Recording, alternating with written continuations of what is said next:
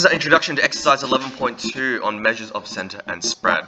We're going to start by continuing on with our previous topic in terms of what continuous distributions are. A quick reminder that our continuous distributions are focusing on the fact that it's not a specific value. So for example, it can be infinite range, we're just focusing on the intervals. And that the area under a graph determines the probability of a value being that specific, well, determined value. The value of p of x, value p of x, sorry, which is the solution of the equation here, where we have, and this is a section I'd like you to highlight, thank you.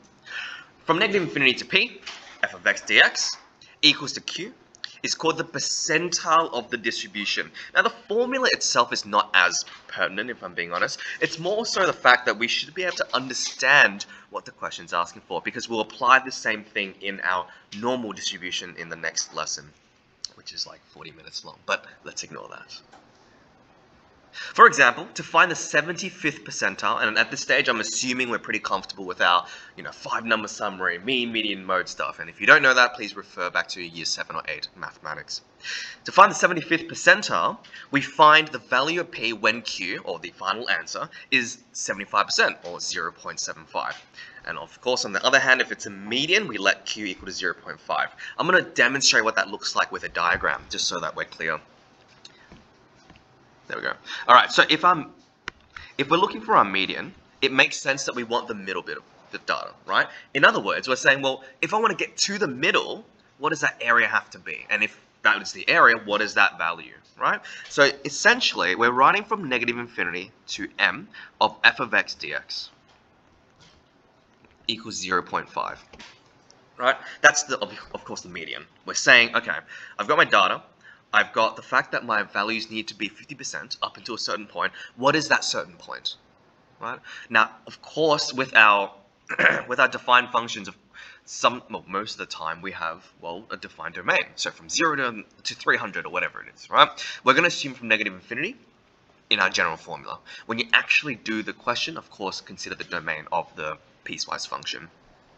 What this visually looks like is this, right? So let's say our our curve or normal distribution looks like this, where we have the middle 50% of data, not middle, sorry, that should be, oh, I need to be careful with that wording there, not the middle, the first 50% of data being this section here. The reason why I'm being careful is because we'll later on do the middle 50% of data, which is your interquartile range, but I digress. From here, this is of course f of x, and this is of course x. This value here is represented by m. We're essentially saying, all right, at what stage does that give us the first 50% of data? Let's look at the example. Suppose the probability density function of weekly sales of topsoil, x in tons, is given by the rule f of x equals to, and for just the top, 2 brackets 1 minus x bracket, uh, from 0 to 1, and everywhere else, or elsewhere, 0. Find the median value of x and interpret, okay? So essentially, again, we're looking for the probability of x being less than or equal to m being 0.5. And of course, it makes sense to say the other way around. If we wanted to write x is greater than or equal to m, that's fine. Of course, you'll have to flip your formula around, but we'll just stick to this one in the meantime. Of course, that is the same as saying 0 to m of 2 bracket 1 minus x dx equals to 0.5. And because we're gods at integration already, I'm going to go skip straight to that step of 2m minus m squared equals 0.5. That's just your integration.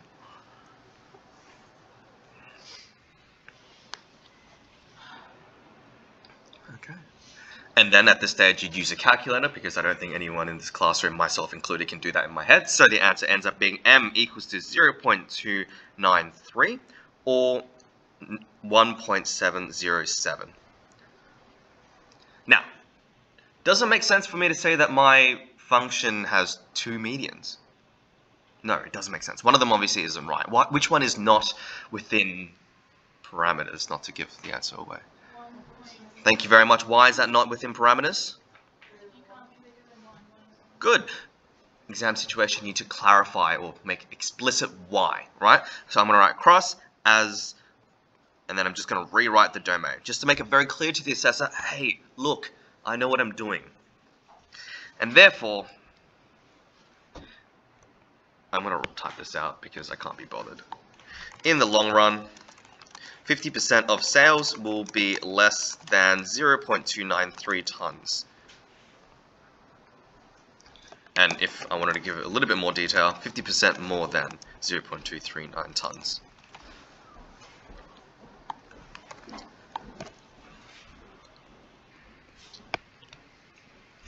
Right, that's what that means. But you guys know your median already. Alright, are we happy to move on? Do we need a little bit of time to copy that down?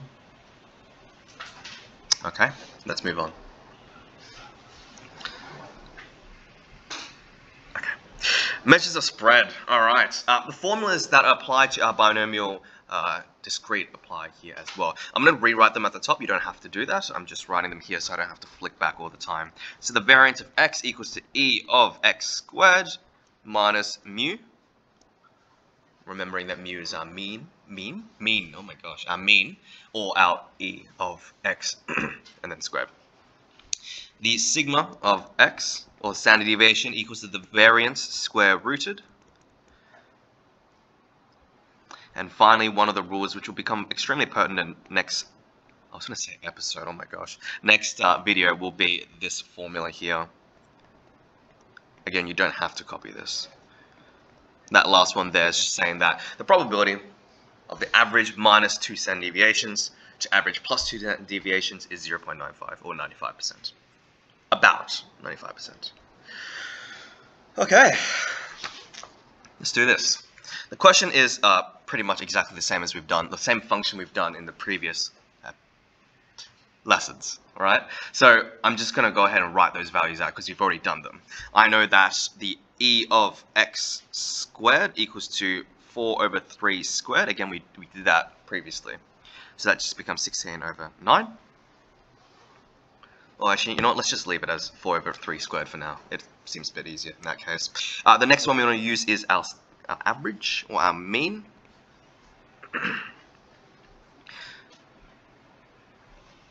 oh, apologies, that's the wrong one. I'm focusing on this one here, e of x squared, there we go, equals 2, and we've already done that again, so that is 2. Okay, that should be a square there, my apologies, because it's our average squared, or expected value squared. Alright, so using that formula, right, remembering that it's going to be your e of x squared minus e of x squared.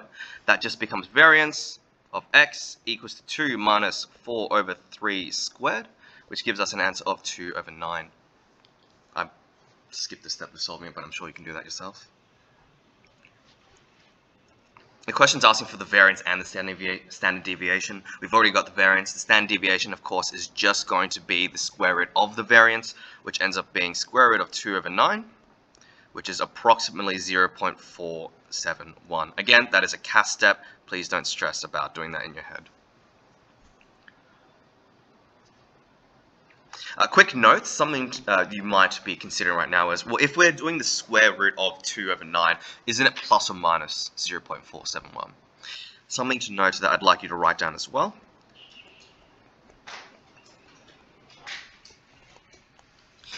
The variance cannot be less than 0.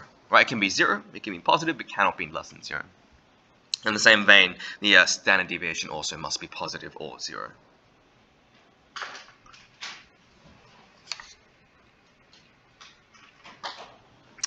Okay, let's move on. Question 22 says, determine the interquartile range of the random variable x, which has a probability density function, etc. A different function for once.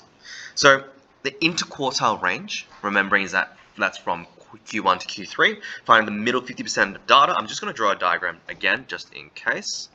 So that's our min, that's our max, that's our median. I'm just going to write MED for median. That's Q1 and that's Q3. We're just focusing on this part here. So let's find Q Q1 first. So the first 25%. This is applying the same well, not the same formula, the same principle as the uh, the median equation. And I'm I'm just picking a letter, right? A is not conventional or anything like that. I'm just picking a letter from 0 to a of 2x dx equal to 0.25. Right, 25%, we're saying the first 25% of data. Right, essentially the value for this will give me from here to here. Okay? So that becomes when you integrate it, etc. Of course, that's x squared from 0 to a of, oh, actually don't need to write dx, of 0 point, equals 0 0.25, which means that a squared equals 0 0.25, and, well, a can't be plus or minus square root of 0 0.25, because, well, it has to go from 0 to 1. So I'm still going to write it out, and then I'll explain to the assessor that, well, I'm saying it can't be. So I'll say a equals to plus or minus square root of 0 0.25, where a is or cannot equal to 0, negative 0 0.25 square root, as oh, that should be an a, apologies, because I'm defining it as a, because a must be between 0 and 1. Therefore, a equals to the square root of 0 0.25, which is just 0 0.5.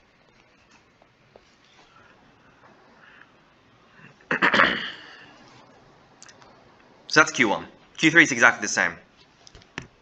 Q3, where it's 75% of course, means that we have from 0 to B. Now, you can do this the other way around as well. Instead of saying from 0 to B, of 2x dx equals 0.75. You could go, for example, from b to, what is it, 1 of this the same function equals 0.25. That's just going to be the same thing. You're just going to be finding this section instead of this section, right? It doesn't matter. Either work. Solving this, you end up with b squared equals a 0.75 which means that b equals to the square root of 0.75, though I'll write plus or minus, and again, I'll write uh, b cannot equal to negative 0.75 squared rooted as 0 is less than or equal to b, which is less than or equal to 1. It's this weird balance or weird combination of the assessor knowing what they're meant to be doing, but you pretend like they're stupid, so you write everything out for them. And then finally, that is approximately 0.866. Therefore, your IQR, which is just going to be subtraction of both, is going to be 0.866 minus 0.5. So that's going to be approximately 0.366. The reason why I'm still using approximately is because, well, 0.866 was an approximation as well. Last page, last page.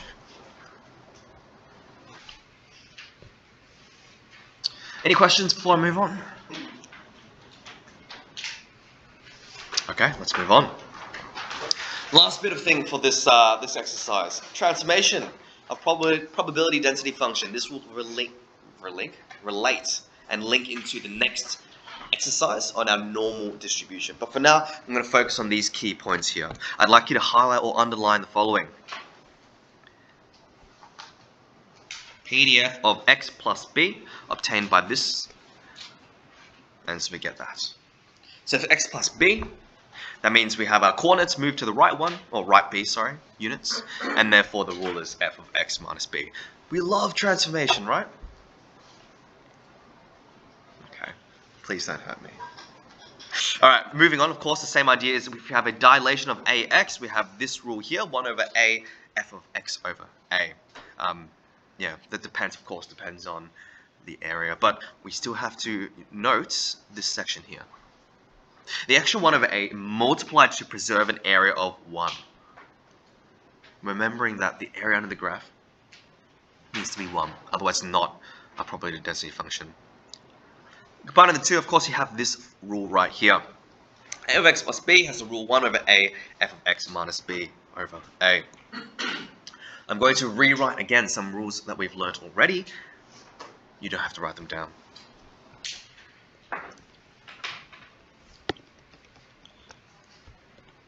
E of ax plus b equals to a of ex plus b and the variance of ax plus b equals to a squared times variance of x. These are formulas that are in your book already. Okay. Suppose that x is a continuous random variable with a mean of 0 of 10, sorry, and a variance of sigma squared equals to 2. Find 2 uh, e of 2x plus 1. Using that, of course, I know that it's going to equal to 2 times e of x plus 1. That's just using the first formula I wrote on the top right. Which equals to 2 times 10 plus 1, which is 21.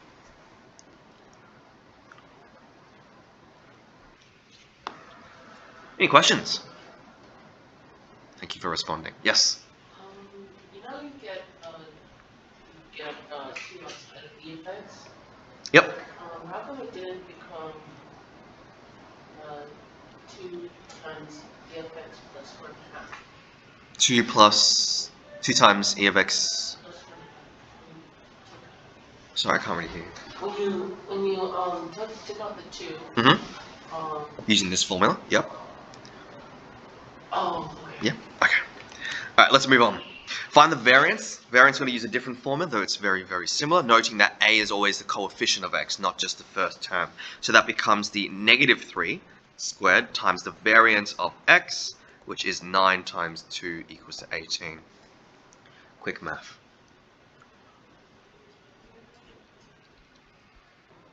Okay. If x has a probability density function f, describe the rule of a PDF. I'm just going to abbreviate it. PDF G for 2x plus 1. We define it. A equals to 2, B equals to 1. I know that. Oh, apologies, I forgot to mention earlier. The reason why variance x is 2 is because the, uh, the variance of x equals to sigma squared. Or if you square root both sides, the square root of variance is sigma, so I've just put that number back in. Alright, back to this question. So, we have described the rule of the PDF uh, for 2x plus 1. I know the formula from above that we've highlighted is a of x plus, so a times x plus b becomes 1 over a f of x minus b over a. That's just the formula. So I can substitute it. I know that 2x, x, capital X, plus 1 goes towards g of x equals to 1 over 2 f of x minus 1 over 2. I'm just substituting the numbers right in. Questions? Okay.